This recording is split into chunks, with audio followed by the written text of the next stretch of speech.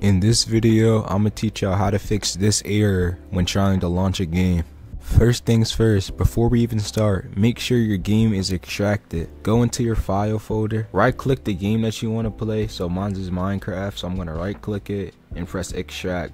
It shouldn't take too long. After it gets done extracting, go inside the new folder. You should see two things, readme and the disk image. What you do is right click the disk image and press mount and press accept. After mounting the disk image, it should redirect you inside this folder. All you do is drag and make sure you drag every single file. Right click all the files and press copy. Now go back to wherever you keep all your games. Right click open space to make a new folder. And name the folder whatever game you're trying to play.